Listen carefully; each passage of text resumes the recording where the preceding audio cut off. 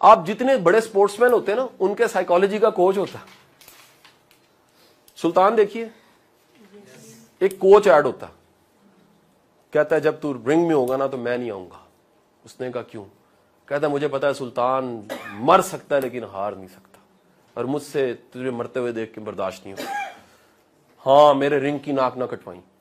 वो क्या कर रहा है? वो माइंड दे रहा है उसको। वो क्या दे रहा है? माइंड दे रहा है। ये जो माइंड को माइंड देना है ना, ये बड़े लोगों में होता है। वो अपने माइंड को लगाम डालते हैं। वो अपने माइंड को सिमत देते हैं। वो अपने माइंड का माइंड बनाते हैं। कैसे जी? इस कॉन्शियस के ज़रिए। अब आते हैं वो स्टेप्स के हैं। उसने कहा जी, पाँच स्टेप है। पहला स्टेप क्या है? रूल नंबर वन ये है। ये तब हरकत में आता है जब इसको को गोल मिला होता। है एनक वाला जिन में डायलॉग बोलूँगा तो समझ आ जाएगा। वो कहता है, मुझे काम बताओ, मैं क्या करूँ, मैं किसको खाऊं? मिलकर कहो जरा सारे, मुझे काम बताओ, मैं क्या करूँ, मैं किसको खाऊं? कहता है, मुझे काम अब हमारे दिमाग के साथ क्या होता है? लोग आते हैं, कहते हैं, सर, मेरी करियर प्लानिंग कर दें। को मुझे रास्ता बताएँ गाइडेंस मैं कहता हूँ अच्छा क्या बनना? सर, कभी मेरा दिल करता है, मैं इंजीनियर बन जाऊँ। तो बेटा, फिर बन जाओ। नहीं सर, वो मेरी फ्योन्सी कहती, तुम डॉक्टर बन जाओ। इधर हो गए पहले मैं इधर चला। इधर चला। दोगे? तो फिर सर कल ख्वाब में नानो आ गई थी, उन्होंने कहा, नहीं, तू बेटा पायलट बन जा। तो फिर बेटे वो बन जाओ। कहता, नहीं सर, वो तो है, लेकिन हालात अच्छे नहीं जहाज़ बहुत तेज़ी से उठता है, मेरे दिल को कुछ होता है। पता लगा कंफ्यूज हमारा मसला ये, हमें भी नहीं पता होता हमने क्या बनना नहीं बात समझ में। मैं बता रहा हूँ, आप किसी एक फ़ील्ड में कमाल बन जाए, अपनी फ़ील्ड के सारे कमाल आपके दोस्तों होंगे, मैंने पहले कहा। पा कमाल भी तो मियाँ कमाल भी। आप कमाल तो हो ना किसी एक फ़ील्ड में। हम हर फ़ील्ड में अधूरे हैं। Specific goal if you want to operate your subconscious mind have a specific goal clear cut craze एक चीज़ ऐसी जो दिमाग में है, कुछ हो जाए। बाहर की दुनिया कुछ भी है, अंदर वो चल रहा है। बाहर दुनिया कह रही बकवास है, ये है वो। आपके पता है, मेरा एजेंडा है। बात नहीं समझ यार, फ़र्ज़ करें, मैं आपको कहूँ, यार, ये बाज़ार से आपने अंडे लेके आने अंडे। बाज़ार में झूले चल रहे हैं, सब कुछ चल रहा है। If you have a specific agenda आप डायरेक्ट टू स्टोर पे जाओगे जहाँ पर अंडे अंडे लेकर वापस आ जाओगे। मैं आपको कहूँगा, वहाँ, क्या कहता आपको कोई डैम क्यों? मुझे नहीं पता। मुझे पता था मैंने लेना क्या है। इस दुनिया बाज़ार है, इसमें से चाहिए क्या? डिसाइड कर लो। हमारा मसला है, हमें पता नहीं लगता। तालीम हमें कुछ बताती है। अब्बा जी कुछ कहते हैं। अपनी सेल्फ एक्चुअलाइजेशन होती नहीं है। देखो ना, आवाज़ है ना। मैंने सुना इधर से अब्बा ने क्या कहा? अम्मा ने क्या कहा? मेरी थ्योरी क्या है? अपने अंदर को सुनो। इसको हम सुनते नहीं, इसको कहते सो जा बेटा, सो जा। आवाज़ आती है, मैं ये नहीं हूँ जो तुम कह रहे हो, कहते नहीं नहीं नहीं नहीं नहीं अभी देखो ना, दुनिया में ट्रेंड किस चीज़ का हम ट्रेंड को फॉलो करते हैं और किसी काबिल नहीं रहते। इसका रूल ये है, पहले डिसाइड कर लो कि आपने बनना क्या मैं कहता हूँ, ज़मीन पे चलने में कोई हर्ज नहीं है। निगाह आसमान पे होनी चाहिए। डिसाइड करना चाहिए, यार, मुझे यहाँ पहुँचना है।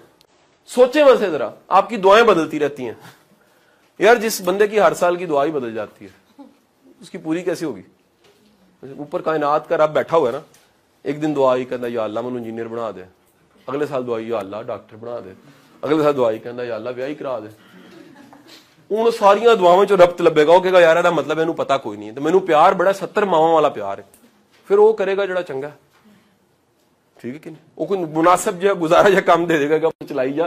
तेन तो पता ही कोई नहीं, तेन चाहिए की? हम तो मायल बा करम है, कोई सायल ही नहीं। कायनात आपको जवाब तब देती है, कवानीन कुदरत, जब आपके पास एक चीज़ होती है। वन थिंग आपने डिसाइड किया। शाहरुख खान की मूवी थी, उसका डायलॉग था। मैंने तुझे इतनी शिद्दत से पाने की ख्वाहिश की है कि हर एक जर्रे ने तुझसे मिलाने की साजिश की। कुरान कहता है इंसान को सूर्य नजम इंसान को वही कुछ मिलता है जिसकी वो सही करता है। कोशिश छोटा वर्ड है। कोशिश बड़ा छो, छोटी डिग्री है। सही। सही इज़ अ वर्ड स्ट्राव कोशिश इज़ इंग्लिश अगर करें क्या है? स्ट्रगल स्ट्रगल कोई चीज़ नहीं होती।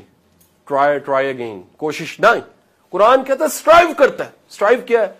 अपना आप किसी एक चीज़ पे लगा देने वाला बंदा कहीं पहुँच जाता। ये रूल नंबर वन है जी। फिर बताएँ, सारा कुरान में है। एक्सप्लेन नहीं, सही तरह हमें किया गया। हमें किया गया, अंगूठा ऐसे हिला, नमाज़ टूट जाएगी। ठीक है जी? हमें सारी ये चीज़ें बता दी गई। जो स्पिरिट थी, मुसलमान और मेहनती ना हो, कैसा मुसलमान है? मुसलमान और गैर जिम्मेदार हो, कैसा मुसलमान है यार? मुसलमान हो और अपनी जिम्मेदारियों को कबूल ना करता हो, कैसा मुसलमान? हमें ये किसी ने बताया ही नहीं। ये भी इस्लाम है भाई। तो तख्ते शऊर को ऑपरेट करने के लिए पहली चीज़ क्या है? वन थिंग वन थिंग एक चीज़ रूल नंबर टू उसने कहा ये सब के सब, उन्हें पता ही नहीं होता वो सब के सब ऑटो सुजेशन करते हैं। उसने जो वर्ड बोला ना पहले वो बोल उर्दू कर दूँगा, समझा रहे ऑटो सुजेशन ऑटो सुजेशन को इंग्लिश में इसके करीब करीब कोई और वर्ड है तो उसको एफर्मेशन कहते हैं। एफर्मेशन एफर्मेशन का तर्जुमा क्या है? एक खुद कलामी है जो हर वक्त कर रहे हैं। आप लेक्चर सुन रहे हैं ना, आपको पता है दो कम्युनिकेशन हो रही है। एक मैं आपसे कर रहा हूँ, एक आप अपने साथ कर रहे हैं। मैं तजुर्बे से आपको बता रहा हूँ, दूसरा काम है वो जो आपके माइंड में हर वक्त चलता है। कल एमरसन का जुमला बोला था, क्या? वीकली क्लास टू का कोई बच्चा तो बोले। आप वही बनते हैं जो पूरा दिन सोचते रहते हैं। एमरसन का जुमला। पहला काम क्या था? स्पेसिफिक गोल वो कहते हैं, जैसे ही आप किसी चीज़ को अपने आप को कहते हैं, कभी आपने अपने आप को समझाया? मेरा क्वेश्चन है। बड़ी दुनिया नहीं समझा पाती। हम सबको समझा देते हैं। कहते हैं समझाया उन्होंने अपने आप को समझा के देखे। अपने आप को समझाने का मतलब क्या है? आप कभी अपने साथ बातचीत करके देखें। अपने आप को शीशे में देखेंगे तो बंदे का पुत्र बनना कि नहीं बनना? हाँ हाँ सही बात। कभी अपने आप को कहे तू क्या कर तू की करी जाता पे? कितों आया तो कितने जाना पे? नहीं गल समझ। ये बंदा अपने आप अपने आप से जो आपकी खुद कलामी है कॉन्शियसली अनकॉन्शियसली वो बड़ी इंपॉर्टेंट है। को अब जुमला सुनिएगा ये। किसका जुमला है? एंथोनी रॉबिन्स की किताब अवेकन द जायंट में जुमला लिखा। वो कहते हैं quality of your communication is directly proportional to the future जितनी म्यार की बातें आप अपने साथ करते हैं, उतने ही म्यार का फ्यूचर आपका पड़ा हुआ आगे। हमारी अपने साथ जो बातचीत है, हमारा ख्याल इतना लगड़ बगड़ों वाला ख्याल होता है। एक वर्ड है हुस्न ख्याल ख्याल भी कितना खूबसूरत होता है ना? ख्याल की खूबसूरती। तो ख्याल का म्यार, वो कहता है जब भी आपके पास ऑटोसिटेशन है या एफर्मेशन है, अब एफर्मेशन क्या होनी चाहिए? मैं कर सकता हूँ। कितनी बड़ी एफर्मेशन मैं आपको एक अपनी एफर्मेशन बताता हूँ। मुझे लगता है मेरे बचपन से अंदर से गूंजी कि यार, बंदे को ज़िंदगी में कुछ करके जाना चाहिए। एफर्मेशन है ये। ये बार बार आ जा, खुद ब खुद आ जाती है यार, बंदे को कर। एक एक और एफर्मेशन है मेरे अंदर बहुत चलती है। वक्त खत्म हो जाना। नॉर्मल है, हर बंदे को पता होना चाहिए। इसे कहते हैं मौत को याद रखना। इस ज़िंदगी से जाना है, ये बहुत बड़ी एफर्मेशन इसलिए तो अल्लाह के रसूल ने कहा कि मौत को याद रखना चाहिए। ये वो एफर्मेशन है। अब जरा समझ आए, दीन को इस एंगल से जरा समझिएगा। साइकोलॉजी के पैराडाइम से कभी समझे। दीन नहीं। बंदे को अपने गोल्स टारगेट्स को अपने अंदर दोहराते रहना चाहिए। Affirmation affirmation the third thing उसने कहा सबकॉन्शियस का भी एक फ्यूल है? वर्ड है फ्यूल। इसके फ्यूल का नाम है, कहते हैं जब आप जज्बाती होते हैं ना तो जज्बात में आपका अनकॉन्शियस सबकॉन्शियस एक्टिव हो जाता है। जज्बाती हद तक सोचे कहता है, ये रैशनल है। पुराने मेरे शगिर्दों में से याद आ जाए कॉन्शियस क्या होता है? रैशनल ये क्या होता है? इनरैशनल है। ये जज्बाती होता आप जज्बाती हद तक सोचे जज्बात तारी करें। जब भी जज्बात के साथ अपने गोल्स को जोड़ेंगे तो क्या होगा? आपका सबकॉन्शियस क्या हो जाएगा? एक्टिव हो जाएगा। फोर्थ चीज़ लिख लीजिएगा, इज़ विजुअलाइजेशन। विजुअलाइजेशन की तर्जमा क्या होगा? विजुअलाइजेशन का मतलब है एज इफ़ तस्वुरात में वहाँ पहुँचा हुआ महसूस करना। अपनी ज़िंदगी की उस अचीवमेंट को पहले से महसूस करना। एज इफ़ हो चुका है जैसे। ठीक है जी? हो चुका है। अगर आपके कान बाहर वाले नहीं, आपकी आँखें बाहर वाली नहीं, आपके अंदर तखयल की दुनिया में वो होता रहता है वाक्य तो वो हो जाएगा। इस पे बकायदा अमेरिका में रिसर्च मौजूद है, किस चीज़ पे? उन्होंने प्रैक्टिस करवाई आँखें बंद करके बॉक्सिंग की। प्रैक्टिस करवाई आँखें बंद करके टेनिस की। प्रैक्टिस करवाई आँखें बंद करके क्रिकेट की।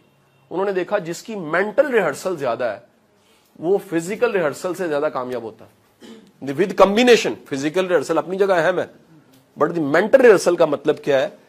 कि आपके दिमाग में हर वक्त वो चल रहा है कि मैंने, आप हैं सब में, लेकिन असल में आप कहीं और हैं। आप अपनी मंजिल पे पहुँच चुके हैं।